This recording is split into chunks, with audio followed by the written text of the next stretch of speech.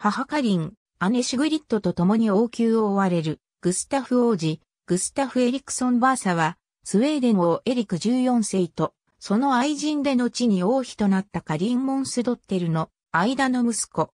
グスタフは1575年に、おじヨハン3世に、スウェーデンからの出国を命じられた。廃位されたエリク14世の支持者がその息子であるグスタフを大いにつけようと策動するのを封じる必要からだった。グスタフはポーランドに移り、困窮と絶望の中で成長することになった。また、ポーランドでカトリックに改宗した。ロシアのツァーリー・イヴァン4世は、バルト海を目指そうとする自らの野心のために、グスタフを利用しようとしたが、この試みは失敗に終わった。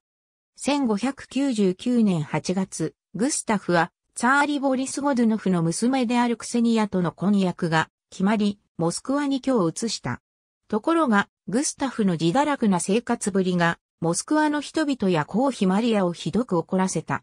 ボリスは、マナ娘とグスタフとの縁組を取りやめたが、婚約を破談にした代償として、ボリスは帰る場所のないグスタフにウグリチの分量を与えた。